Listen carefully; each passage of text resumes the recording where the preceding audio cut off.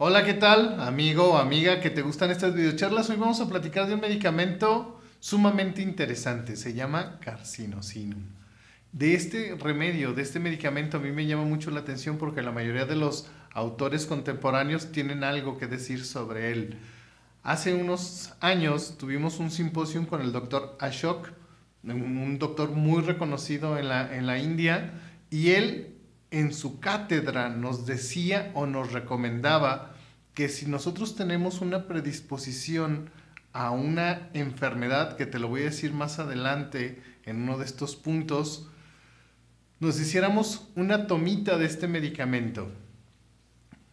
El punto número uno de carcinosinum sería esa característica que él tiene de ser compasivo con los animales. ¿Cómo te lo explico? Ya te lo había explicado en alguna otra videocharla, eh, lo de ser compasivo con los animales. Este medicamento de carcinosinum, te voy a dar un ejemplo, puede ir en el coche y si ve un animalito herido, va a hacer una pausa, se va a detener, va a recoger ese animalito herido y lo va a llevar con el veterinario y le va a prestar todas las atenciones que en su capacidad esté. Entonces, el detalle es, cuando yo lo veo, cuando alguien a mí me platica este síntoma, ¿cómo lo puedo traducir para encontrarlo al repertorio? Ok, es muy sencillo. Tú lo vas a buscar en mente, compasivo, animales con los. Esa sería la rúbrica para este síntoma. Punto número 2. En este punto a mí me encanta porque a quien no le gusta la música. Eh, a este medicamento tiene una característica muy especial, única y peculiar con la música. En adultos los hace llorar. Cuando ellos escuchan una canción que les evoca alguna emoción o un recuerdo sobre alguna persona, van a llorar. A los niños les encanta la música. Este medicamento en los niños les gusta la música. Aquí la rúbrica es lo interesante. Ok, ¿cómo lo encontramos en el repertorio? Bien fácil. Nos vamos a mente, música, deseos de. Aquí, hasta aquí, tú te vas a, te vas a encontrar 13 medicamentos. Si lo modalizas un poquito más y le pones niños en, entonces vas a encontrarte mucho menos medicamentos. Si tú notas, vas a notar que en la rúbrica anterior, del punto anterior de la compasión por los animales y este del gusto por la música, sobre todo en los niños, los niños son de los que escuchan música y se van a poner a bailar. O tú vas a una fiesta y vas a notar un niño chiquito, dos, tres años, baile, baile al ritmo de la música, porque son rítmicos. Entonces tú vas a notar en estas dos rúbricas que acabamos de buscar es que tienen más de tres medicamentos y menos de 10. Por lo consecuente, cualquiera de estas dos nos puede servir como síntoma guía. Ya después de eso podemos hablar en alguna otra videocharla. El punto número 3. Muy bien, en este punto es un síntoma que es común en, en varios medicamentos, licopodio, gelsemium, y este tiene un trastornos por anticipación. Este medicamento, mucho antes después de que sucedan las cosas, las va a prever, normalmente las va a anticipar. Son eh, personas mucho, muy precavidas en este sentido y van a prever a largo plazo. Tienen este trastornos por anticipación. ¿Cómo lo encontramos nosotros en el repertorio? Fácil.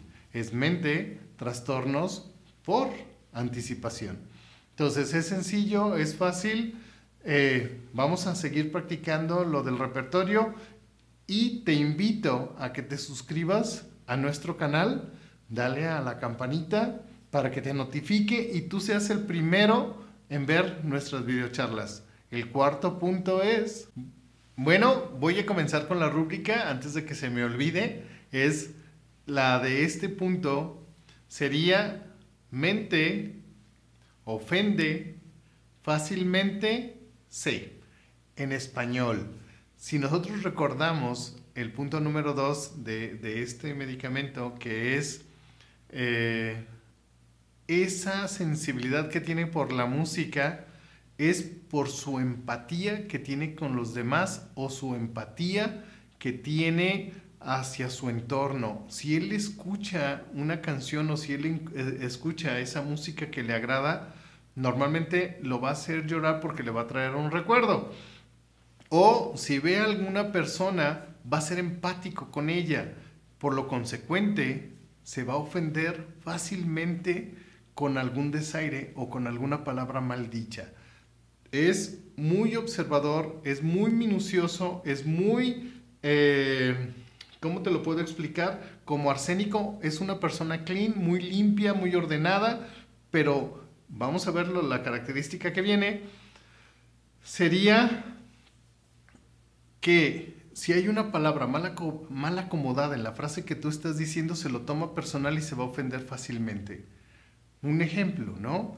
Fíjense que el sábado precisamente estábamos en la mañana, eh, llegan algunos alumnos, nos empiezan a, a saludar, llega un alumno que nos ofrece pan normalmente todas las mañanas los sábados. Llega este alumno que le manda un saludo, me ofrece una pieza de pan y yo le digo, no, gracias. Mi prima toma una pieza de pan de una forma, de ahorita les voy a decir qué forma, entonces me dice, ¿no quieres puerquito? Y yo le dije, ¿qué pasó? ¿No? Entonces, este tipo de medicamentos normalmente tienen esa sensibilidad y se van, se van a ofender fácilmente. Ella me estaba ofreciendo la pieza de pan, pero el cómo lo dijo, si yo hubiese sido carcinosino, me hubiera ofendido con ella por lo que me dijo. La quinta característica sería, ok, esta característica, la quinta ya por último, pero no antes de mencionarte que la característica principal de este medicamento es el control. Todo tiene que estar bajo control. Su eh, dilema es el control. Todo tiene que estar controlado porque si tiene esta pérdida de control, ya, se, se desarticuló todo. Entonces, en esta, en esta característica de lo que te mencionaba en el primer punto, el señor Ashok nos hace una recomendación de darnos una tomita si nosotros tenemos la predisposición al cáncer. Ok, ¿cómo buscamos la rúbrica? ¿Cómo la encontramos en el repertorio? Es generales, historia familiar de cáncer. Entonces, así lo podemos encontrar nosotros en el repertorio. Este medicamento normalmente es específico para una predisposición familiar hereditaria hacia el cáncer. Muy bien, te invito a que sigas viendo nuestras videocharlas Coméntanos, haznos saber cuál es tu punto de vista. Mi nombre es Francisco Javier Vidales y nos vemos en nuestra próxima videocharla. Que pues vayan apartando su lugar. Muchas gracias. Ah, y el maestro Gabriel también, que cada año viene y nos acompaña.